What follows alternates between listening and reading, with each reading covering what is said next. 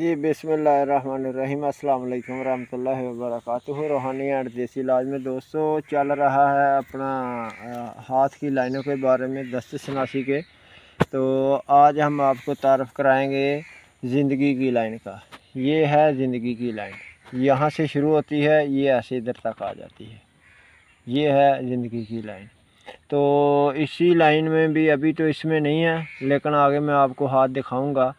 तो उनमें आप देखेंगे कि ज़िंदगी की लाइन में जो आदमी जब उसका मतलब उसने फ़ौत होना होता है कि वो अपनी जाए पैदाइश जहाँ पैदा हुआ है, वहाँ ही फ़ौत होगा या कितनी दूर वो फ़ौत होगा।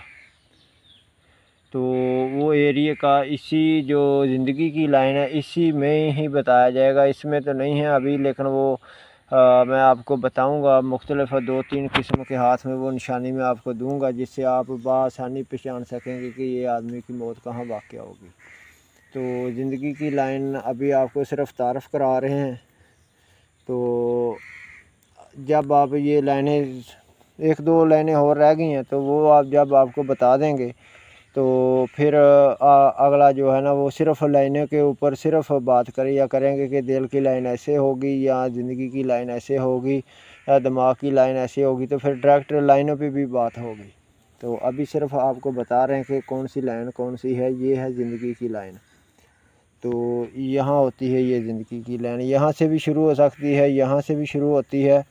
और इसमें ही पता चलेगा कि आदमी को माली फ़ायदे कितने हासिल होते हैं घर वालों से, रिश्तेदारों से और कितने मतलब उनको फ़ायदे मिलते हैं। तो ये सब ज़िंदगी की लाइन में आएगा और अपनी मेहनत से जब वो आगे जाएगा तो ये ज़िंदगी की ही लाइन से पता चलेगा कि अपनी वो मेहनत के बलबूते पर अपनी वो किस्मत बनाता है।